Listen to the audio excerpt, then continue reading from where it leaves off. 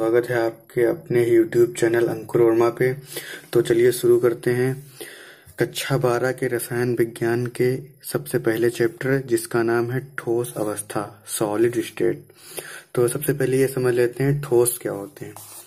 तो ठोस पदार्थ की वह अवस्था जिसमें अववी कण जैसे परमाणु अणु या आयन, प्रबल आंतरिक आकर्षण बलों के द्वारा निकटस्थ संकुलित होते हैं।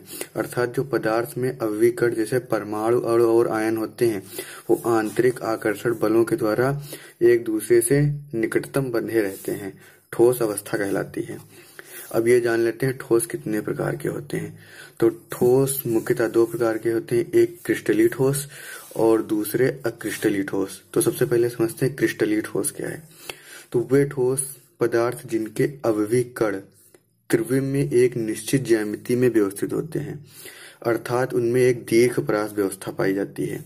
क्रिस्टली ठोस कहलाते हैं, जैसे एन है, सकर है, इत्यादि। तो अब आगे देखते हैं अक्रिस्टली ठोस क्या होते हैं।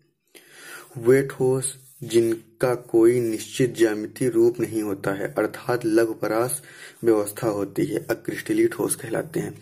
जैसे कि कांच है आपका, प्लास्टिक है, रबड़ है, इत्यादि है।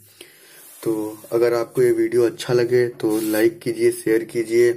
और अगर अभी तक आपने हमारे चैनल को सब्सक्राइब नहीं किया है तो सब्सक्राइब कीजिए और बेल आइकन को भी दबाइए। मिलते हैं एक और नई वीडियो के साथ। तब तक के लिए धन्यवाद।